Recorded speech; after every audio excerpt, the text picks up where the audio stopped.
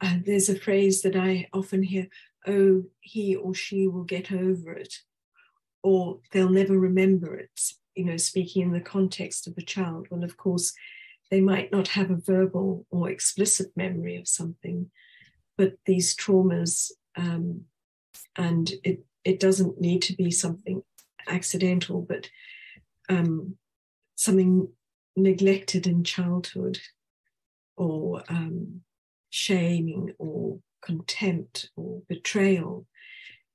There may not be any words for it, but it's certainly laid down in a person's body, in their cells, and the body remembers.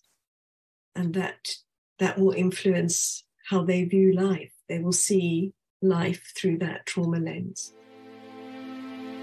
Hi, I'm Naomi Murphy, and this is the Locked Up Living podcast where we talk with a wide range of people about harsh aspects of institutional life. We also explore some of the ways to overcome them and to grow and develop. I'm David Jones.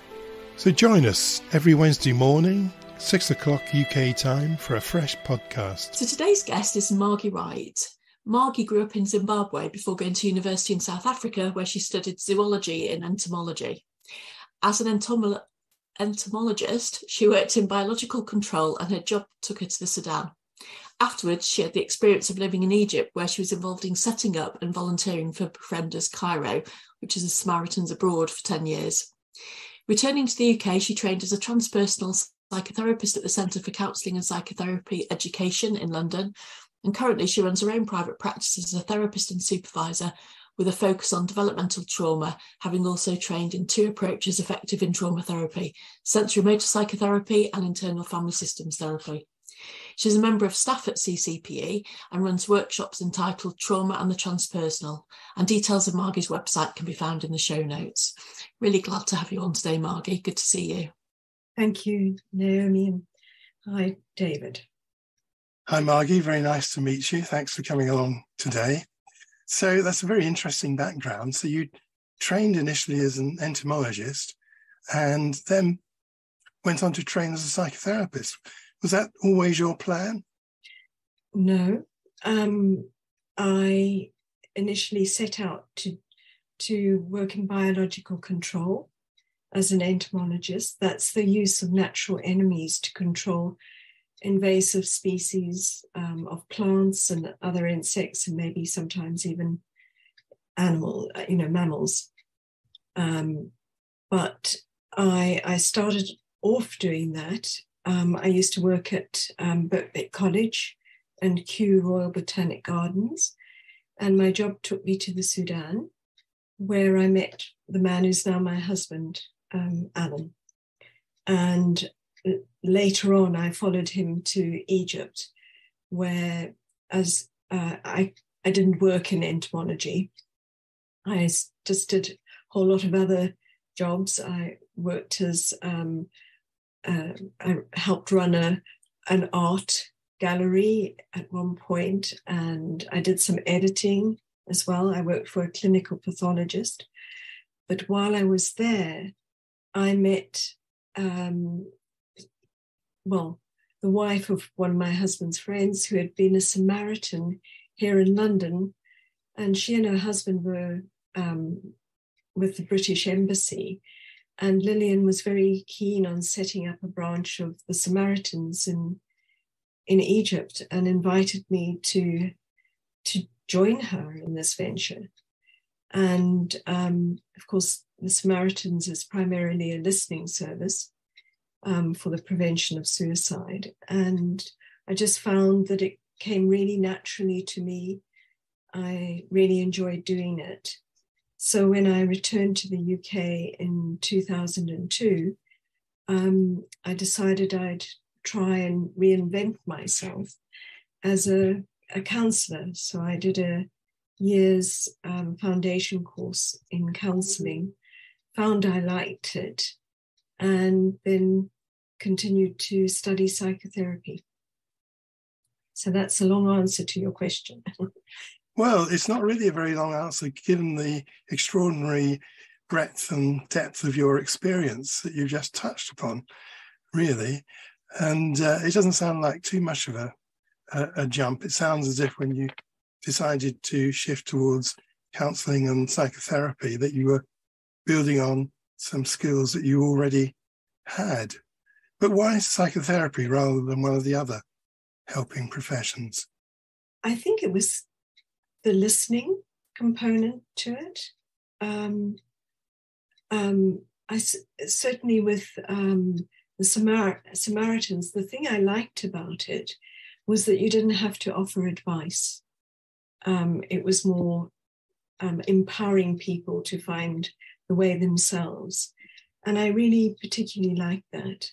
I also liked um, the anonymity that goes with it and the confidentiality. So it's done done quietly. Um, of course, some people talk about it, but not others. And I, I, I particularly like that. Um, and I found I could do it. A lot of people would come to me and talk to me um, quite naturally. So it it just felt really organic. That that's the path I I chose. So so does what you've just been describing? Does that? I don't know much about transpersonal psychotherapy. So the question I'm asking is from that position. What you've just been describing, does that naturally flow into uh, becoming a transpersonal psychotherapist? Yeah. Um, it was as if the transpersonal chose me. Um, they say if there's a student, the teacher will find you. And um, it was um, as a result of the foundation course I did, the person who was my tutor on it um, recommended um, the Centre for Counselling and Psychotherapy Education in London as a place where I could train. That's when I went to and said, you know, I really want to pursue this as a career. And so she suggested that. I have to confess that I did very, very little research into other um, training schools or colleges. Um, I contacted CCP. They had a um, open day. I went to it. I enjoyed it, and I enrolled and was interviewed. You know, um, and then yeah, I think it was only latterly then I thought, oh gosh, you know, transpersonal. What is it? Um, and I still find that that um, question very, very difficult to answer because it's so, well, it's so transpersonal. There aren't really any words. It's it's sort of beyond um, the rational in a way. It's beyond time and space as we know it. it's outside our rational living experience. Um, so, and it's it just feels like you know my whole path has sort of mirrored the transpersonal in a way that it's just meant to be. And I found that I fitted into it really quite naturally. Um, and of course, it's about a, a spiritual e- element as well, which I loved about the course because it included body, mind, and spirit, um, which a lot of other courses don't include. Thank you. So you've given us a hint Sorry. I was just going to ask Margie whether it drew on, um, does it draw on knowledge from outside of Europe, because uh, Europe and North America, because an awful lot of therapies are very rooted in in white European American um, teachings, aren't they? And I was just wondering whether that particular form of psychotherapy might be a bit yeah. broader. There's there's a lot of um, Buddhist tra- tradition. Um, and um, in fact, at CCP, a Sufi um, tradition as well, or taken Rumi um, taken into account, um, but it's also very Jungian as well, um, working with metaphors and archetypes. So yeah, it in, in, in encompasses everything, the world. It's kind of like a global um, tradition in a way. Okay, what what mm-hmm. does transpersonal therapy look like in the therapy room? How would how would we know it was a transpersonal therapy session? Okay, so um, basically, um, the transpersonal, well, the, the model, it's a model. Um, it's a psychotherapeutic model. And the, the one that I studied at CCPE is um, an integrative based model. So it involved all sorts of other um, ways of uh, therapeutic approaches like the Gestalt. However, we did things like breath and sound as well. We also learned about the psych- psychodynamic approach. So, and we, we were allowed to take what we could from it based on, on ourselves. But people think of the transpersonal as a, as a religious uh, model, and it's not. It's got nothing to do with religion. There are no structures or rules based to it. Um, it's basically um, it's about a personal journey and a journey of discovery. Um, and like other therapeutic models, it's about developing this ability to witness yourself or to observe yourself, and, and that you grow in consciousness and awareness. Um, and with this, you grow in creativity and imagination and your sense of fun um, increases as well, and and maybe your belief system, you know, and believing in something bigger than than yourselves. Um, basically, the transpersonal is is beyond the means beyond the personal, okay, and um, sort of there are no words really to describe it because it's beyond um, the bounds of time and space, really, um, and beyond our ordinary personalities. Um, at CCPE, what we were also taught was the alchemy of transformation. So basically, there's this ancient belief that um, when when you you know well, these um, people believe by adding lead to um, a pot and applying heat and stirring it, it would transform into gold. Well, it's a similar sort of belief that um, the transpersonal um, approach that I've learned has. So, in other words, as you go to therapy, come to therapy, um, and you're in this therapeutic container, heat is applied, and and there are various processes um, that you go through, and you start with Nigredo, which is the dark night of the soul, and um, where things start falling apart, and um, your dreams change, and basically you go through all these processes of purification, you know, where there's um, purification by water, say emotion, very emotional, or parts of you die off um, um, and then gradually, as you go through this therapeutic process, more and more light starts filtering in, um, and hence the gold. And, it's really nice metaphor. Yeah, and then, but the hardest part of the alchemical process, of course, is then applying um, what you've learned about yourself into real life you know maybe it's in terms of relationship or getting you know motivated from work or something like that. But our transpersonal approach um, is very right-brained so it's it uses creative imagination um, and also the body. So there were various techniques we would use and by dropping into the, the body and evoking the right brain, which um, has been shown to be very healing. At CCPE, um, they also used the elemental model, um, which was a way of describing um, our personalities or our qualities. Like someone might be quite airy, and in other words, they're quite intellectual or quick witted um, someone might be quite fiery and passionate. Um, then other people might be more um, um, uh, emotional, which is more watery. or more stoical and grounded, which is the earth elemental model. And the, the whole process of therapy is about to bring balance and harmony between those different elements. So you have something of each within you.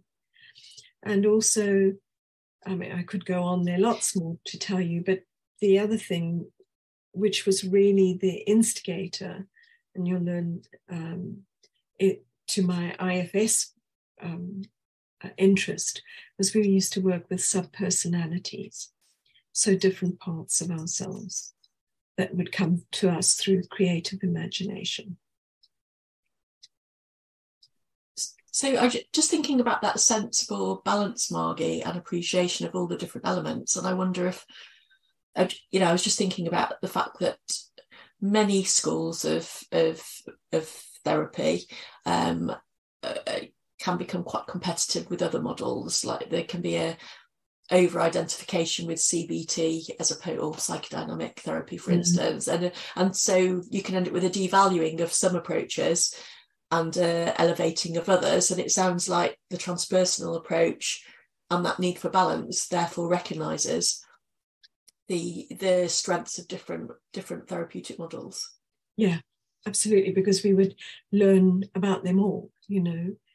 Well, not all of them, but it, you know, there was CBT involved. I also now lecture about um, trauma and um, you know give them overview of different um, approaches used in the treatment of trauma. Um, and I think the belief at CCPE was you take from it what you need based on who you are. And um, so some people, I would say, on a, if there was a continuum, work far more transpersonally than me, mm-hmm. um, because I've gone more towards uh, working with the treatment of trauma. But it's still an underpinning to what I, to how I work. And if some, if any listeners were interested in um, digging a bit deeper into transpersonal psychotherapy, are there any key um, authors that they should be, any key writers they should be exploring? Okay, so someone like John Rowan has written a book on the transpersonal. Ken Wilber, mm-hmm. Assagioli, um, oh, I can't think of them offhand. Um, Grof. So um, many, and and the director of CCPE has also written a book on on dreams. Um, that's Nigel Hamilton. Thank you. I wonder, can you tell us a bit more about it? Um, and how, how might a typical session go? Well, it's very, I would imagine it's very, very much like ordinary everyday psychotherapy. But for instance, um, it might be we, you know, thinking about, um, well, for instance, I see auras around people, and that informs me of maybe how they are I personally, I think it's a reflection of their soul or their self. But you could also think of it differently as them being regulated and and really, um, you know, being calm, cool, and collected. I'd, but it's also um, sometimes people bring issues with prayer, or not that I, um, you know, they can talk about it. Um, people have um, feelings that maybe God's let them down. But I think that's included in in in everything really. It's more my personal belief is a lot of it's around what is meant to be. Um, there's some extraordinary things that happen. Um, like, for instance, something that I can just off the top of my head at one point a client of mine said she she felt lit up and she was lit up. And then she said you know this is this is a spiritual experience. It's something beyond what had happened be, between um, herself and me. I sort of believe that in a way I'm a, a conduit between the universe or God, um, and it provides a sort of healing energy um, um, in in the relationship. Um, I don't know if I'm explaining it very well, but yeah, I think it's coming on. Um, I because it sounds to me as if you're describing something about your frame of mind and how you're open to communicate on a spiritual level uh, and an unconscious level. And, and do you then translate that to the person you're working with? Not always. No. I mean, it's it's really something that comes with.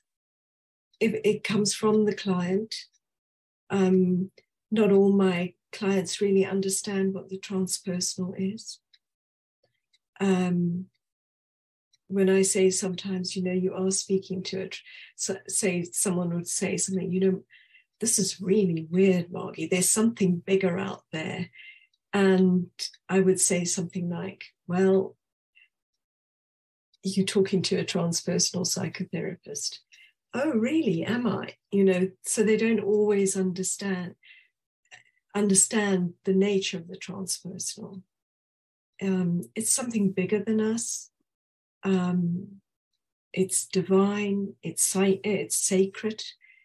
Um, you know, people believe in the universe or God. I personally think of the universe, um, and and how that in the biggest in the bigger sphere will influence us and our our work and what happens between us.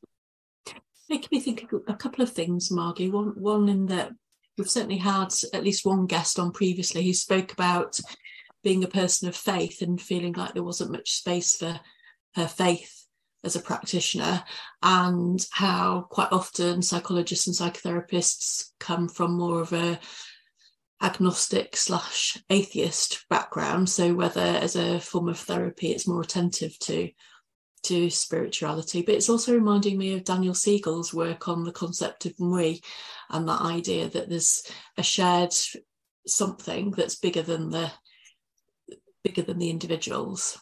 Absolutely, and um, um, the it's certainly like in IFS therapy, um, which is internal family systems therapy, they talk of the self, which is really the essence of being.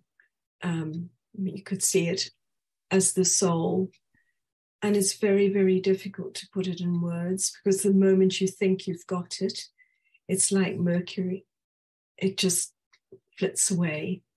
Um, hmm, Thank you very much. Um, so, moving on from that a bit, Margie, you specialised in working with people who are traumatized. What led you to prioritise this area? Well, again, David, it was just a path that I followed. When I um, did my second year at um, college, um, they talked about someone called John Bowlby. And John Bowlby had um, talked about um, boarding school and the effects of, you know, well, basically attachment and separation. And I just thought, I had this light bulb moment and thought, that man understands me. And because I had been to boarding school as a child from seven, and I decided post my diploma to do some CPD in attachment, um, which I did. And um, you know, it became more obvious to me that actually the reason that I was doing this was really not really helping others. It was because of my own attachment history and my own developmental trauma. And um, for a long time, I denied it. I um, had talked to people and said that I had almost a perfect childhood Um, but that was a way of coping, a way of surviving, something that actually turned out wasn't so brilliant. Um, and so gradually, as I learned more and more about attachment and developmental trauma, um, I became more interested in it. And that's what led me into um, sensorimotor psychotherapy as well. And um, sort of following um, both big T trauma, because I believe a lot of people who have developmental trauma um, also prone to accidents and um, certainly their recovery from from big T trauma or single incident trauma, acute trauma, um, is much more complex and leads to you know things like complex PTSD. And so it's been a kind of gradual um, process, and it's just where my my heart lies. And as I do more, you know, I work with my clients. I still have my own therapy, and um, you know, I sort of delve deeper and deeper into what happened to me, and it becomes clearer and clearer the depth to which de- developmental trauma can go and the impact on individuals. And that, you know, that's just, I just feel I fit into it. It's helping me as well as helping others. Um, you know, our clients are our best teachers um, as well. It's really interesting the you know talking about developmental trauma because I think so often people don't recognise they have that.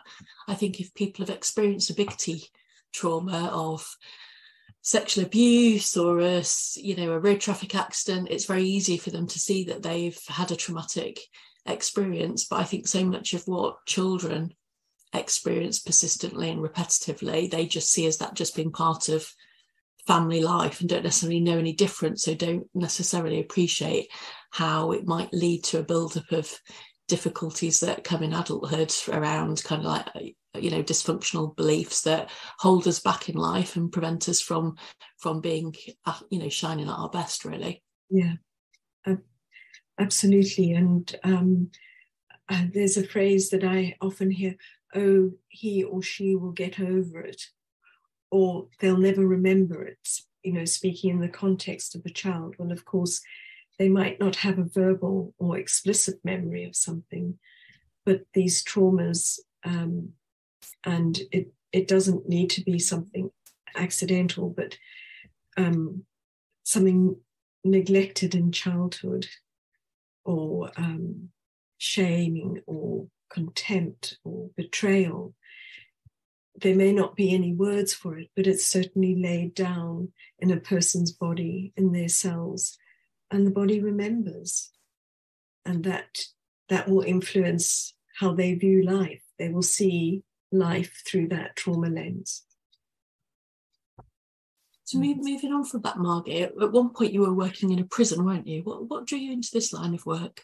Well, um, when I came back, I lived in Egypt. When I came back from Egypt, um, I decided to volunteer for the Samaritans here, and I I um, volunteered at the Amersham branch, and they had an outreach program with Aylesbury young offenders, and um, I was particularly I was drawn to it because somewhere along the line, and I can't remember where, I'd, I'd heard a, at some conference I had attended, I'd heard a plenary speaker talk about um, grief and bereavement and loss, and how I think in, at that time he said at least 40% of young offenders have uh, had suffered a significant loss as a child and had unresolved grief. And I just, that really just drew on my heartstrings. And I, I thought, you know, here these young people who maybe could have been helped differently at some point earlier on in their life. And so I volunteered um, to, to work with. Basically, what they were doing was they were training young offenders in the prisons to be there as listeners for um, other um, offenders who, you know, who were feeling suicidal. So we didn't actually listen to prisoners, but we helped the helped those who were trained as listeners um, or flowed, and we helped them with training as well. And also, I have a sort of belief that if you're traumatized and you're living a life through a trauma lens, it is virtually like being in a prison because you end up surviving rather than thriving and living. So maybe there was something within me that recognized this lockdown living, as you said, you know. It's interesting you you draw on that because actually a couple of our other guests who come from non-forensic backgrounds have said the locked up living very much applies across society in terms of how people might end up in quite restricted worlds and the, the, that they inhabit as a consequence of of early early adversity. But what what was it like working in a prison as a non-operational staff member? What were the challenges of that? Well, um, so my, the biggest ch- challenge I faced was my own fear and my own projections and assumptions. Um, and I remember walking in through the prison door, which was a huge, big wooden door, and then being searched and um, and I, I absolutely remember tra- trembling and walking through this um, avenue of prisoners, and I felt their eyes, uh, their eyes on us. But we went into an office, and I um, there was a perspex screen and I looked out and I looked out at them and I remember what went through my head was, oh, they they just boys um, or young men. And it was like, I, I don't know what I thought, you know, um, my projection was, but they they were human. And so I think my biggest challenge was overcoming my own fears and and assumptions. But I think I think it's interesting you talk about that because I think talking about fear is something that people are reluctant to do when it comes to working in prisons. And I've heard so many people say, "Oh no, I was never frightened," and I think, well, that doesn't make sense to go into places where you're confronted by the worst things that people can possibly do and not feel not feel frightened. And I also remember working in a prison when I was 22. It was, it was my first first job in a prison, and I was supposed to be doing some work with a young man who'd who'd killed. And one of the governors of the prison came to ask who was working with this prisoner, and to gleefully say to me his previous therapist was traumatized. And with hindsight, that was all done just to to deliberately engender fear in me. This the the, the boy wasn't wasn't frightening at all. Um, you know, you could very easily see the vulnerability in him, and he worked very well. But it was the fact that that seemed to be an acceptable prank to play on a young woman in a in a prison environment, which you know wasn't pleasant at all. But I wondered um, if there were any things that you enjoyed about the work that you did in prison, and what advice you'd give to anyone who's going to work in a prison. Right. Um, so I'm not sure the word enjoy is is right. Um, I I didn't do this for long, but the thing that I really that really grew in me was a respect for the prisoners that we worked with, some of whom had committed the most heinous of crimes, and they but there they were working and really trying hard to turn their, their lives around. And I think that's one of that was one of my take homes was, you know, you see the, the dark in people, but there's also this light And when given a chance, it will, you know, it will shine through. And no, I, I just, I think the thing that came home was the humanity of people. And I've always, I remember my, um, the director of um, CCPE, where, where I was trained, said, you know, you, this is something like he said, it's not verbatim, but he said, you know, you're all here potentially capable of murder. And and to this day, I always think, I'm so grateful that I haven't murdered. And certainly I've never ended up in prison because it's not somewhere you want to be. That's very, um, very, that resonates very, very, very strongly, Margie. I think when people are complaining about people in prison having access to PlayStations and things like that, what they're missing is the deprivation that's there in terms of the loss of liberty. They're not being, you know, on a sunny day, not being able to go and walk out on on grass and feel feel grass beneath bare feet, never having any kind touch. all the nuances of you know those slight ways of connecting with people that that bring value and colour into our lives, which are prison's a very grey world, I think. Oh, absolutely. And just as you say that, Naomi, I have a picture of the prisons, and I mean, I, we were shown around some of the cells as well, and how cold and stark they are, and how small and and grim, and the noise. Um, nothing soft about it at all. Sure, they may have some privileges. Um, I didn't see very many, um, but yeah, it was. It's it's brutal. Yeah. So we met when we um, both trained doing the sensorimotor psychotherapy pathway, um, and so worked quite closely together doing that for for a number of years. What what did you find especially useful about this approach? Well, um, I loved the way it integrated the body, and um, was really quite creative, um, and it it dealt with both aspects of trauma both the developmental side as well as the you know more acute side of, of um, trauma.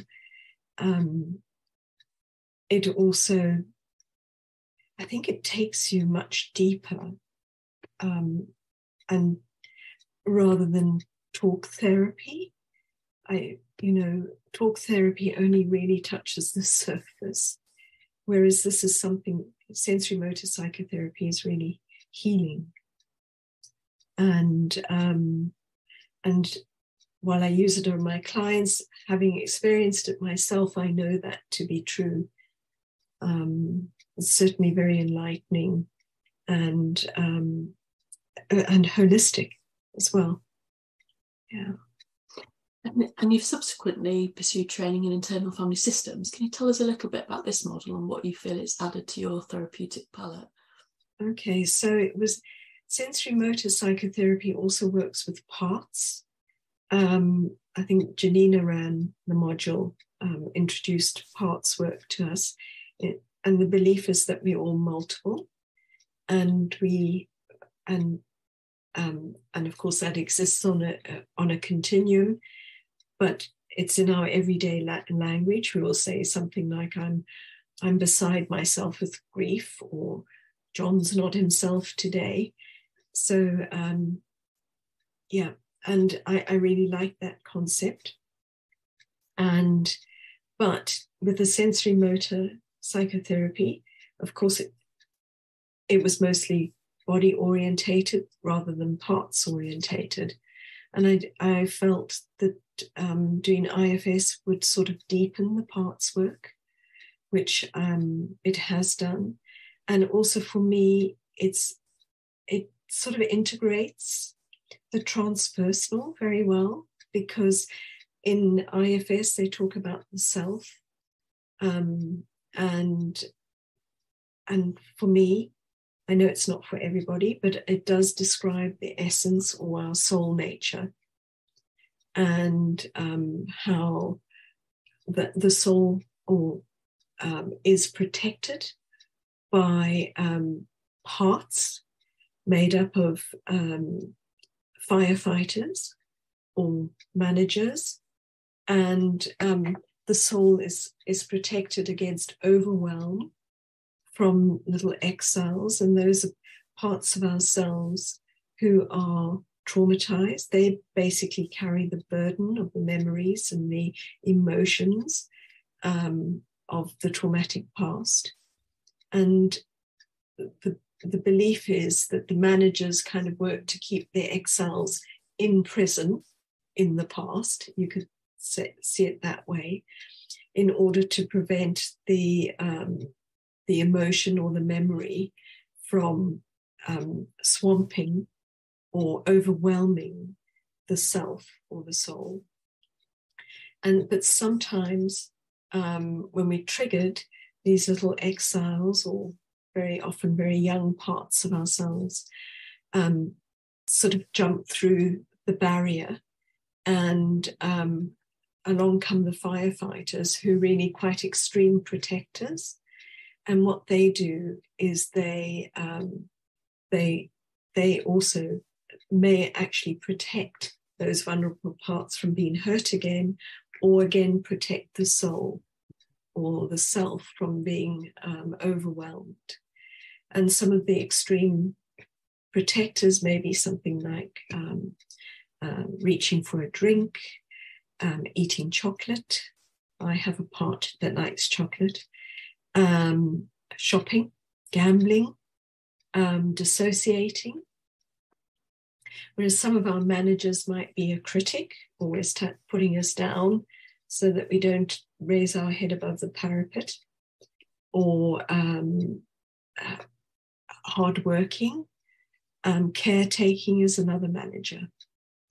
And so what ends up happening is these the managers and the firefighters end up obscuring the the self um, and the whole essence or the idea behind IFS is that there are no bad parts they are all there for a reason um, so for example reaching for the chocolate when i do is to self is to self-soothe is to calm down a, probably a little emotional part that's feeling sad or upset.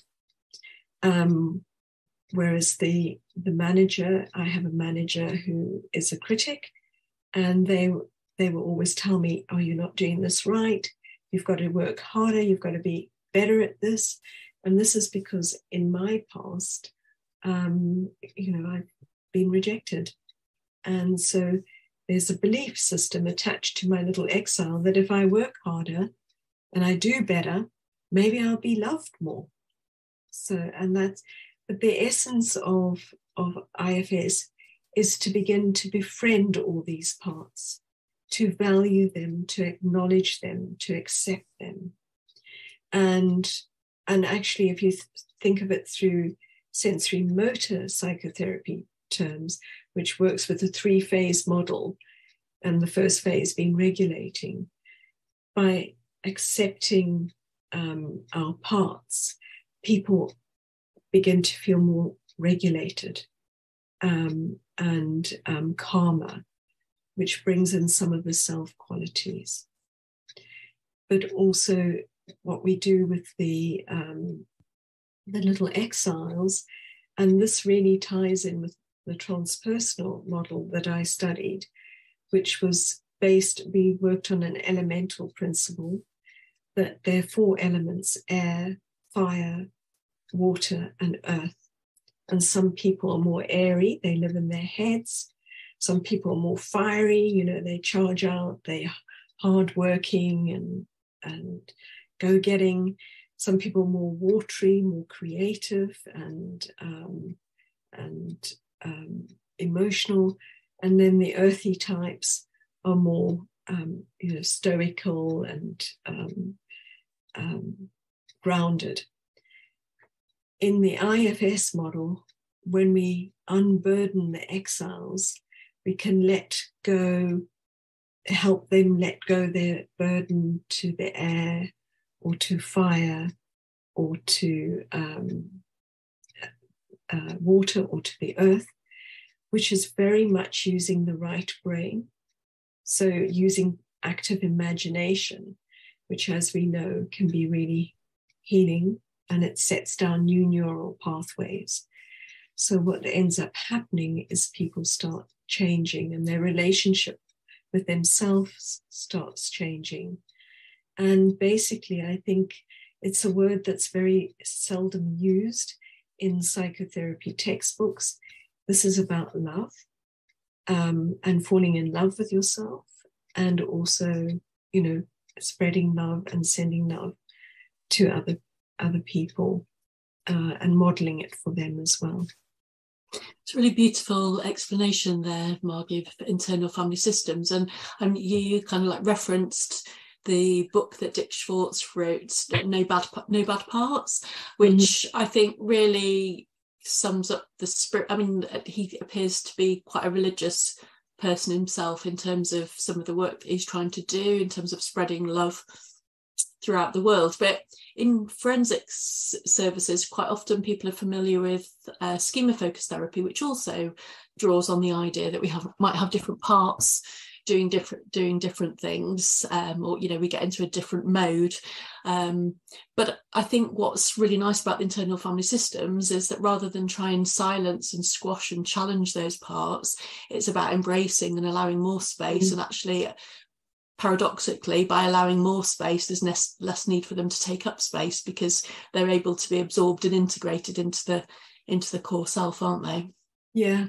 And also what it what ends up happening is a lot of these parts have been forced into roles when as children.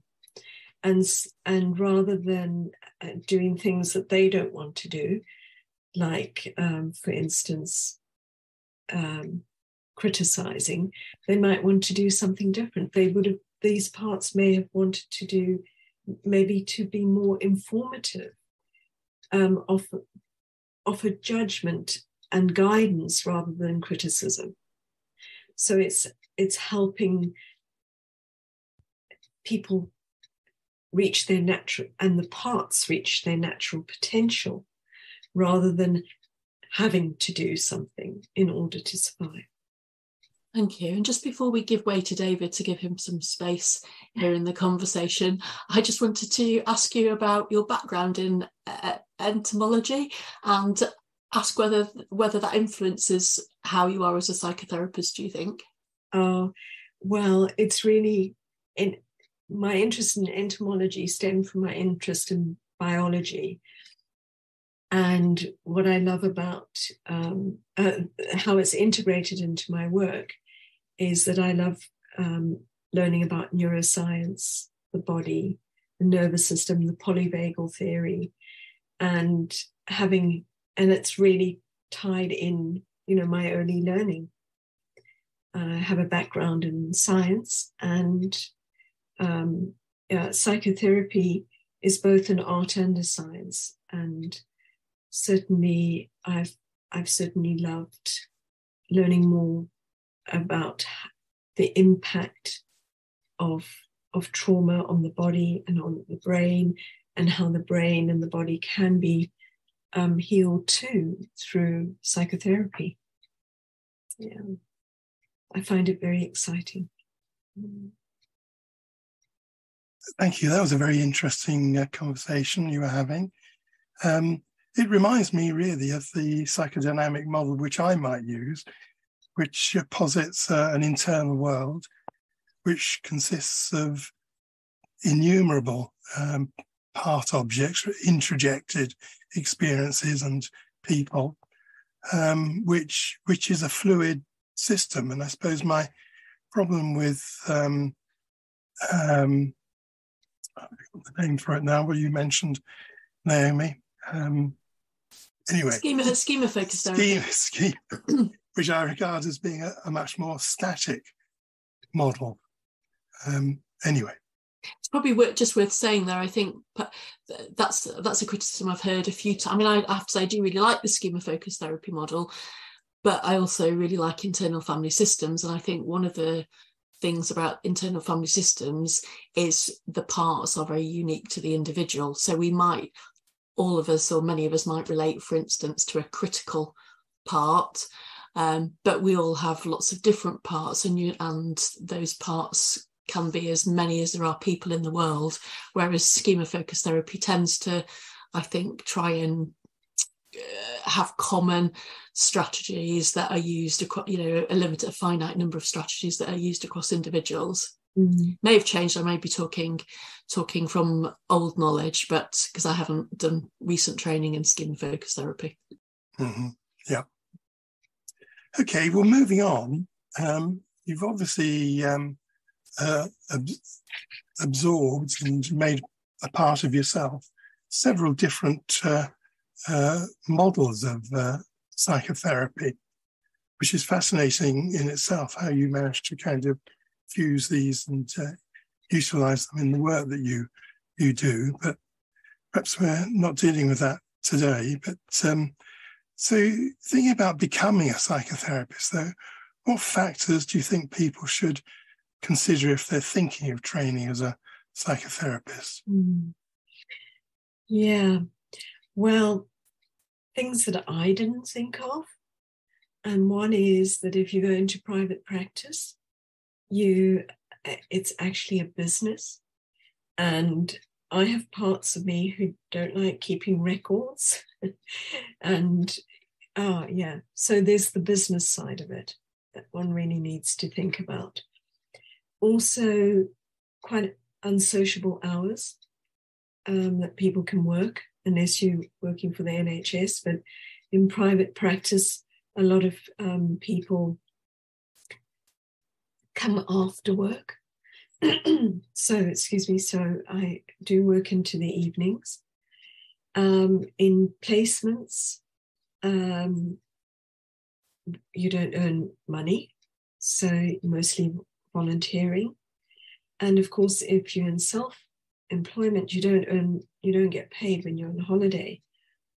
And it takes time to set up a practice. Having said, having said, and it's a lot of work and there's ongoing training, but that's something personally I love. So it's not, yeah, it's just something that we can grow and expand in ourselves. Um, I do, however, really love working for myself. And I've grown my practice in a way that's been really individual, that suits me. Um, and it's hard work. It really is hard work. It can be quite isolating. It, if you, I'm talking from a private practice point of view because you work um, in a room. Um, unless you're sharing a building, there's very little interaction be- between people between people. I mean, it's something I I can't share things that have happened with my husband, for example. But having said that, have a really close network of colleagues. Um, do intervision with them and supervision with them, and I think it's also it really takes friendships between colleagues to a different level as well, which I've really enjoyed. Um, and, in what way? What do you mean by that? Well, there's a kind of openness. People tend to be able to be more vulnerable. Um, uh, more, yeah, obviously good listeners. I mean, it's maybe a generalization, but normally people can be, you know, really there for you. So um, I've, I've certainly found a real closeness amongst colleagues that I work with, wrong, as opposed to other jobs that I've worked in. Um, um, and my word, it, it, when people change and transform, it is just like one of the most beautiful things you can see. Um, and and it's really quite intimate, you know, something really special that occurs between a client and a therapist to see these changes. Um, and I love it that it's not shouted from the rooftops. It's something that's really private and um, just really heartfelt. Um, so that's the uh, reward at the end, really seeing people change and develop. Yeah, I, I find that so. it can take a long time, and it's not always obvious at once, but you know there might be something really profound. Um, like, for instance, someone forming a relationship when they didn't have one before, or following a dream that they always thought was impossible. Um, it's really heartwarming.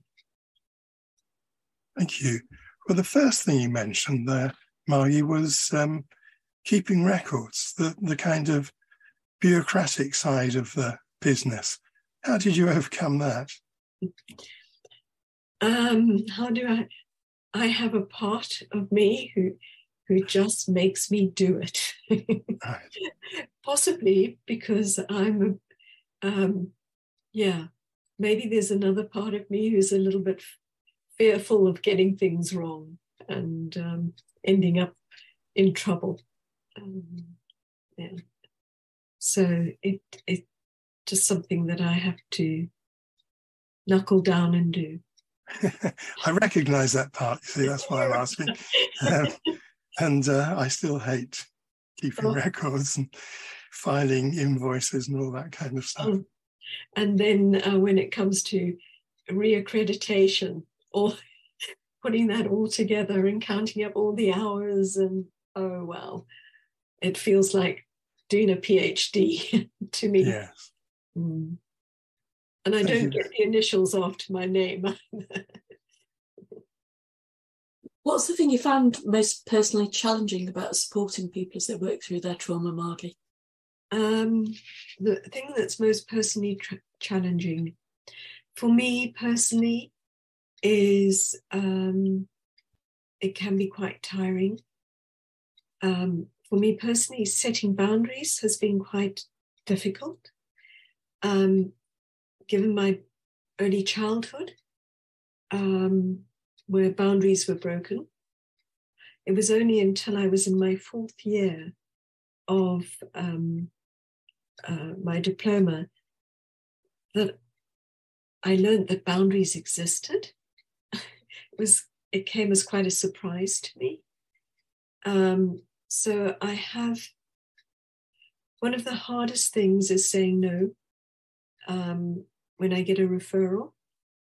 And I had one recently, and it really, you know, tugged at my heartstrings. And I find that very, very hard saying no. But it's not fair either to the client or to myself taking on more work than I can really um, cope with. So I would say that's my most challenging thing, and and that continues it's always continued thank you. And finally because we're coming to the end how, how do you keep yourself emotionally nourished whilst doing this work? Okay so i have my own therapy. Um, friends i have two dogs that i walk. Um, every afternoon i go for a walk. And i just love walking in nature and really taking pleasure in simple things like sunlight on a spider's web or dew on a flower. Um, I do yoga, um, yoga nidra. I I pray, and I also exercise. Good spread of activities there to to keep you healthy. Yeah. It's been a lovely conversation, Margie. Thank you very much for coming on and, and sharing those stories with us. Well, thank you very much for having me. Thanks very much, Margie. That was really interesting, fascinating, actually. Thank you. Thanks very much.